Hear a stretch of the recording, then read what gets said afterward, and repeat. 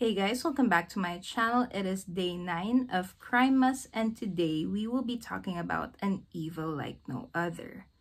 Today we will be talking about the Fritzl family and the secret that lies within their basement.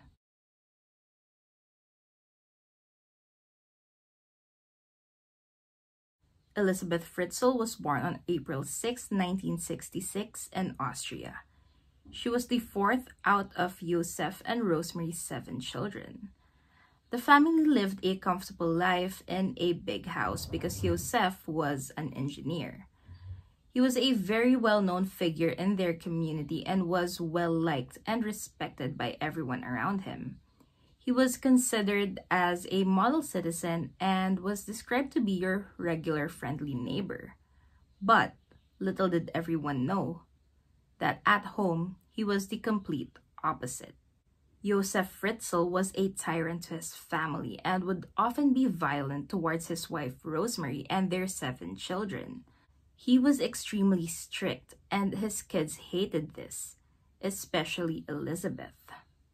That's why when she was 16, Elisabeth ran away with a friend, only to return a few days later. Now this only caused Josef to implement more rules on her, her siblings, and their mother. And that is also probably why it didn't really come as a surprise when just two years later, 18-year-old Elisabeth ran away from home once again. Or did she? On August 28, 1984, Elisabeth was reported missing by her father.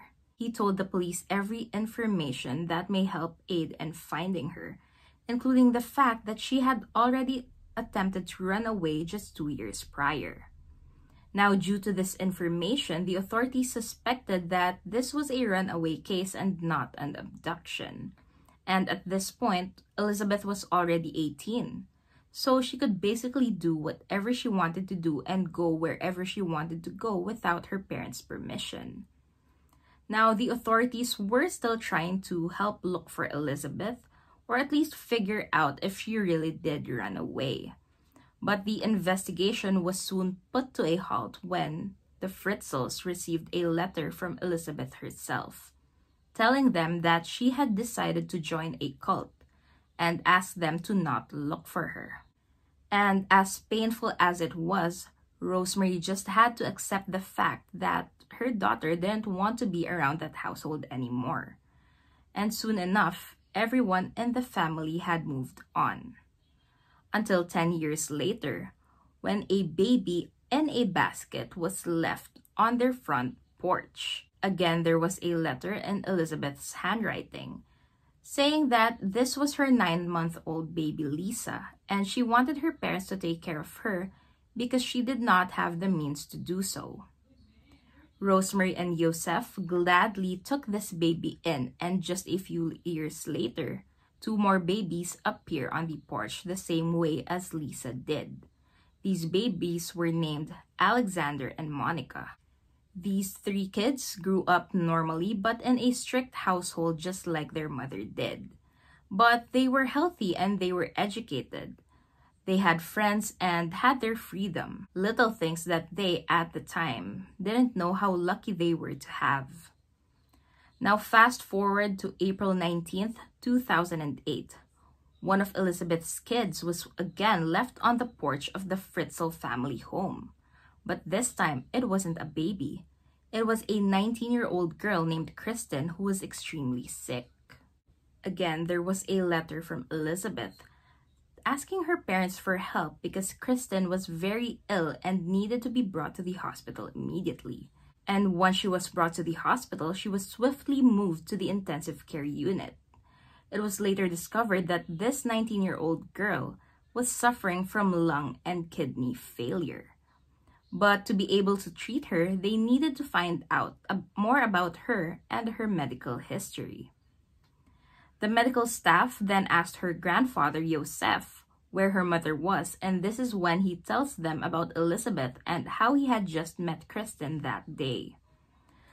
The medical staff said, okay, we'll just go ahead and check her records on the database instead. But upon doing so, they quickly realized that Kristen wasn't on any civil registries on the national database and that she did not legally exist. Desperate, the doctors themselves reached out to the media, begging for Elisabeth to come visit her daughter so that they could find out more about Kristen's medical history and figure out a way to help her. And this actually worked. A week into Kristen's hospitalization, Elisabeth shows up. She was already in her 40s. She was also extremely pale, just like her daughter. Now, these two were said to be so pale that their skin looked almost transparent. Now, for some reason, the medical staff found this whole situation strange and quite fishy, and they decided to call the police, telling them that Kristen could be in some sort of danger. Elisabeth and Josef were both taken in for questioning. And seeing Elisabeth right in front of their very eyes amazed the police. This was the girl who went missing 24 years ago. What happened to her? Where did she go? They weren't ready for the answers that she finally gave them five hours into the questioning. On August 28th, 1984, the day Elisabeth went missing all those years ago, she didn't run away and join a cult. She was abducted by her own father. Her mother Rosemarie was out of the house and Josef took this as a chance to execute his plan, something that he had been planning for over six years. He dragged Elisabeth to their basement and kept her there for the next 24 years. For the first five years of her captivity, Elisabeth was alone in the basement. Her father and her captor, Josef, would visit her once a day to sexually violate her. At the age of 23, Elisabeth falls pregnant with her and her father's first child, Kristen, followed by Stefan, Lisa, and then Monica. Within 10 years of being held captive, Elisabeth had given birth to four kids.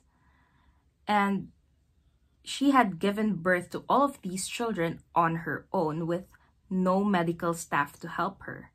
All she had was a book on pregnancy and childbirth given to her by her father.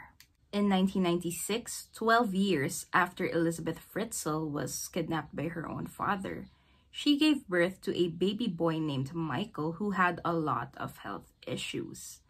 Now, Elisabeth begged her father to bring Michael to a hospital for him to get the treatment that he needed. However, Josef completely refused. Just a few days after birth, baby Michael passed away due to heart failure. And Josef then took the baby's body and incinerated it in a heater, burning his remains. After this, they had two more children, Alexander and Felix. But Josef realized something. It was getting a bit too crowded in the basement, so he comes up with a backup plan. He brought three children to the main house one by one, only a few years apart from one another. These three kids were Monica, Lisa, and Alexander, and he chose these three kids specifically because they were the noisiest ones. Now, he successfully did this by forcing Elisabeth herself into writing notes saying that she wanted her parents to take care of her kids. Josef would then put these babies in a basket and leave them on the front porch of their house for his wife, Rosemarie, to find. And you may be wondering, how did Josef Fritzl keep this double life a secret for so long? 24 years to be exact. Well, he started building the basement in 1978 when Elisabeth was only 12 years old. He had been planning this for over six years. Now, the basement looked like a normal one.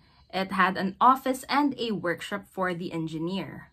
But behind a bookshelf was actually a secret door leading to a second family that he has been keeping in captivity for the past 24 years. Escaping this basement was nearly impossible due to the many doors and locks leading up to the actual home that Elisabeth shared with her three children. Now, this underground home had two small rooms, a bathroom, and a tiny kitchen. There were no windows and no ventilation. These kids had no access to the outside world at all. In fact, they had never seen sunlight. They had never seen the sky, the clouds, the trees, or anything. Rosemarie, her kids, and their lodgers knew nothing as well. Everyone else was prohibited from coming down to the basement and the garden on top of it. And since they were all so scared of Josef, everyone abided by his rules. Even the 100 tenants that rented a room in their house over the past 24 years. The police were shocked and disgusted by what they had just heard. They were in complete disbelief. Josef Fritzl was detained in prison while the kids were rescued right away. On March 2009, Josef Fritzl was charged with rape, kidnapping, incest, slavery, and murder. He claims that he did this in order to protect Elisabeth from a lifestyle that he didn't think was good for her, pushing the narrative that his own daughter was a drug addict. Elisabeth then gave a recorded testimony that lasted for 11 hours. And after hearing this, Josef breaks down in tears and apologizes to his entire family. He was then sentenced to life in prison. He is now 87 years old and is still serving time. He and Rosemarie also got divorced in 2012. Elisabeth and her six living children, including the ones who were raised by Rosemarie upstairs, spent one year in a clinic to receive therapy. They now live in a secret location and refuses all sorts of media coverage. And that is all that I have for you guys for today's video. This was a crazy one. And out of all of the true crime stories that I have heard, this by far is the most unbelievable one. In fact, there's actually a movie inspired by this case, but the story was downplayed a bit. And even if you watch that movie, it already seems like things like this can't happen in real life. But sadly, it did. And honestly, Josef got what he deserved and he deserves to rot in jail for what he did. He is considered as one of the most evil men in history and he honestly deserves that title. As usual, I would love to hear your thoughts on this case. Thank you so much for tuning in and I will see you guys tomorrow.